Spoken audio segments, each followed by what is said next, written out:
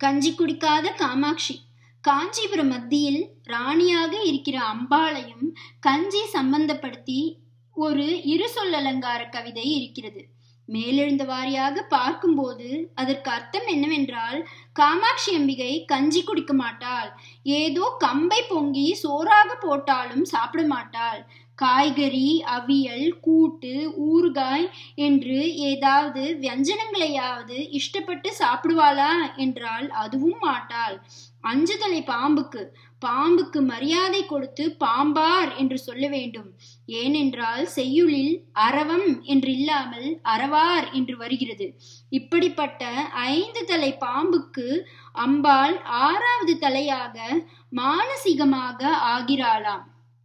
கஞ்சி குடியாலே கம்பஞ்சோர் உண்ணாலே வெஞ்சினங்கள் என்றும் விரும்பாலே நெஞ்சுதனில் அஞ்சுதலை அறவாருக்கு ஆறு தலை ஆவாலே கஞ்சமுக காமாட்சி கான் கஞ்சமுகம் என்றால் தாமரை பூ போல உள்ள முகம். அம்பாள் முகம் அப்படி இருக்கிறது. கஞ்சி குடிக்காதவள் எதுவும் சாப்பிடாமல் கஞ்சத்தனமாய் இருக்கிறாள் என்கிற மாதிரியும் துவனிக்கிறது. சரி அம்பாளை பற்றி எப்படி ஏதோ அல்ப விஷயங்களை சொல்லி அப்புறம் ஆறுதலை பாம்பு என்று விஷமாக முடித்தால் என்ன அர்த்தம்? கொஞ்சம் யோசித்து பார்த்தால் உங்களுக்கே புரிந்துவிடும். சிலதாவது கஞ்சி குடியாள் என்றால் காஞ்சிபுரத்தில் குடிகொண்டிருப்பவள் என்று அர்த்தம். கம்பஞ்சோறு உண்ணாள் என்றால் ஏகம்பன் என்றும் கம்பன் என்றும் சொல்லப்படும். ஏகாம்பரநாதனுக்கு நைவேத்தியமாகிற சோற்றை உண்ணாதவள் என்று அர்த்தம். சிவாலயங்களில் முதலில் ஈஸ்வரனுக்கு நைவேத்தியம் பண்ணிவிட்டு அப்புறம் அதையே தான் அவன் பிரசாதமாக அம்பாள் முதலான மற்ற எல்லா தெய்வங்களுக்கும் நைவேத்தியம் செய்வார்கள். மதுரையிலே மட்டும் மீனாட்சிக்கு முதலில் செய்துவிட்டு அப்புறம்தான் சுந்தரேஸ்வரர் உள்பட மற்ற எல்லோருக்கும். காஞ்சிபுரத்திலே நூற்றி எட்டு சிவாலயங்கள் இருந்தபோதிலும் ஒன்றிலாவது அம்பாள் சன்னதியில் இல்லாமல் அந்த பராசக்தி எல்லா மூர்த்திகளுக்கும் மேற்பட்ட பரபிரம்ம ஸ்வரூபிணியாக காமாட்சி என்று தனி கோவிலில் வாசம் செய்கிறாள். அங்கே அவளுக்கென்றே தயார் செய்கிற நைவேத்தியம்தான் அவளுக்கு அர்ப்பணம் செய்யப்படுகிறது. ஏகாம்பரேஸ்வரர் நைவேத்தியம் அவளுக்கு வருவதில்லை.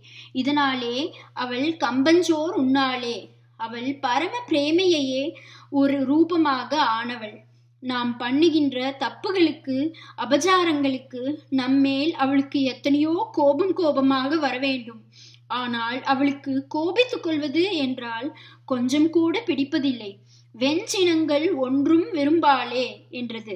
இப்படி வெம்மையாக அதாவது ரொம்ப உஷ்ணமாக சினம் கொள்வதில் அவளுக்கு இஷ்டமே இல்லை என்று அவளுடைய தயையை க்ஷமையை மன்னித்தருளும் மனப்பான்மையை தெரிவிக்கிற வாசகமாக ஆகிறது.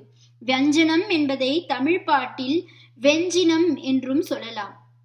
அப்படி சொல்லும்போது கஞ்சி காமாட்சிக்கு வெஞ்சனம் இல்லாமல் சுத்தாண்ணம் மட்டும் நிவேதிக்க வேண்டும் என்று இருக்கிற அபிப்பிராயத்தை இந்த பாட்டு சொல்லுவதாகவும் ஆகும். அறவார் என்றால் ஹரனான சிவனைச் சேர்ந்த அடியார் என்று அர்த்தம். சிவபெருமானுக்கு ஐந்து முகங்கள் உண்டு. அதனால் அவர் அஞ்சு தலை அரண் ஆகிறார். அவரை மனசிலே வைத்து உபாசிக்கிறவர்கள் நெஞ்சுதனில் அஞ்சு தலை அறவார் ஆறுதலை ஆவாள் என்றால் ஆறுதலை அளிக்கிறவள் ஆறுதலாக இருப்பவள் என்று அர்த்தம். நெஞ்சத்தில் ஈஸ்வரனை உபாசிக்கிறவர்களுக்கு சம்சார கஷ்டம் தெரியாமல் ஆறுதலாக இருப்பவள் அம்பாள்.